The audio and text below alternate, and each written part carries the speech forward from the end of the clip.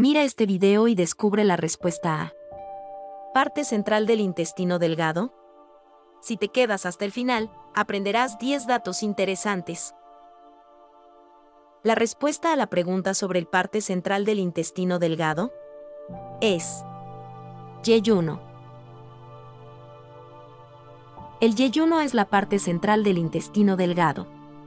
Se encuentra entre el ileón y el ileón terminal, y su longitud es aproximadamente de 10 a 12 pulgadas. Está formado por una serie de pliegues llamados lóbulos, los cuales tienen la función de absorber los nutrientes de los alimentos. Esta parte del sistema digestivo también es responsable de la producción de hormonas digestivas, como la colecistoquinina y la secretina. 10 datos interesantes sobre yeyuno.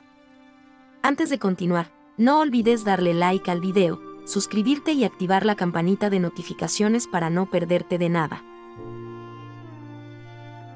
1. El yeyuno es parte del intestino delgado, ubicado entre el ileón y el íleo. 2. El yeyuno tiene una longitud aproximada de 20 a 25 cm. 3. El yeyuno es el lugar donde se produce la absorción de la mayoría de los nutrientes, minerales y vitaminas. 4. Las células de la mucosa del yeyuno producen la mayor cantidad de enzimas digestivas en el cuerpo humano. 5. El yeyuno contiene una capa de tejido conocida como el epitelio intestinal, que contiene células especializadas llamadas enterocitos.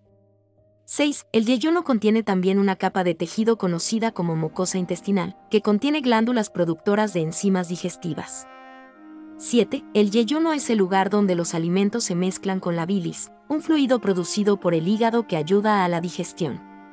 8. Los movimientos peristálticos del yeyuno ayudan a mover los alimentos a través del tubo digestivo. 9. El yeyuno contiene receptores especializados que ayudan a identificar los alimentos y a estimular la secreción de jugos digestivos. 10. El yeyuno se une al ileón, en la parte inferior del intestino delgado, para formar el intestino grueso. Esperamos que te haya gustado este video. No olvides darle like, suscribirte y activar la campanita de notificaciones para no perderte de nada. Hasta la próxima.